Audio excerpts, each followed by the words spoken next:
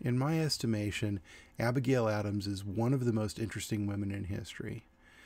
My first exposure to her was many years ago while watching the stage production turned movie 1776.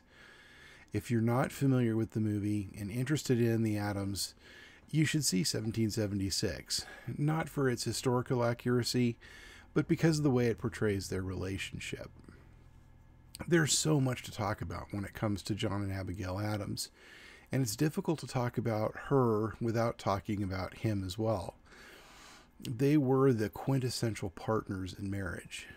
So, to keep from going off track, let's focus on the assignment specifics. In Lea Millio's article, she asks several questions. These are our starting points and prompts to analyze the stories and historical location of our women of choice with regard to their contribution to the American Revolution and the narratives we remember. What made Abigail Adams different? Abigail Adams was an equal partner in all respects to her husband, and not just in action. He saw her as a full equal partner as well. She wasn't known for just one thing or one event. She's known for an entire life of noteworthy contributions in many areas. Why has the story been so widely accepted? Abigail's adult life is one of the most documented lives of the period. There are over 1,200 letters between her and John alone publicly accessible. She was a prolific letter writer throughout her entire life.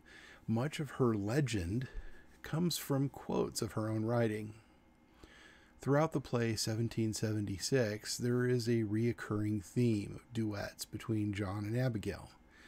These are all pieces of letters responding back and forth to each other. Does the story deserve to continue into the next century? Absolutely.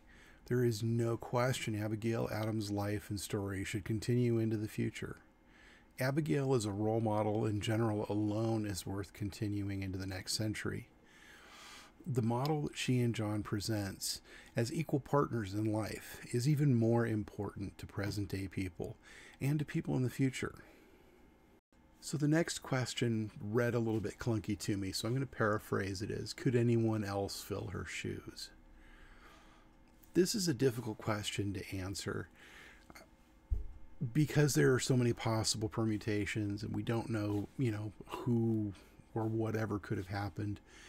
I'm going to say no. Abigail's functions are often thought as just a housewife or the wife of whatever position John happened to be filling at the time.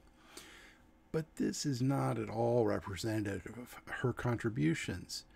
During most of her and John's partnership, she had a considerable input to the outcomes that are often accredited to him.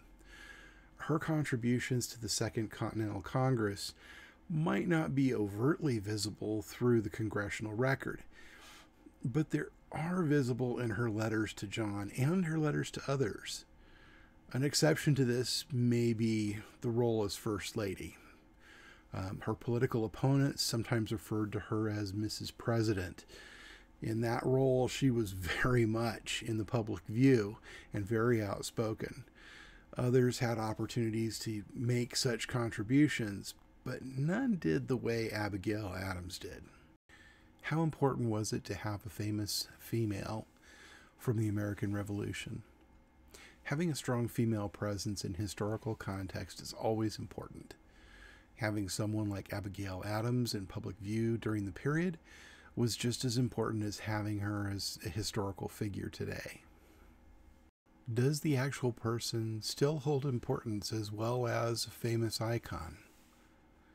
Again, absolutely. The legend of Abigail Adams is pretty much her as she was. I'm sure there are some embellishments here and there, but realistically, she was what she seemed to be outspoken, strong, very well read, very well informed, and very capable in all respects.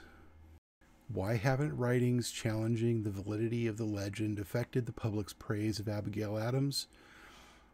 By and large, this harkens back to the available record. There is just so much evidence to her story that it's hard to dispute. most of what's been written about her uses her own words to describe her actions, her feelings, and beliefs. It is possible for some interpretations to be less nuanced than the actual person, but even in that, there's such a volume of information, it's hard to see any substantive contradictions.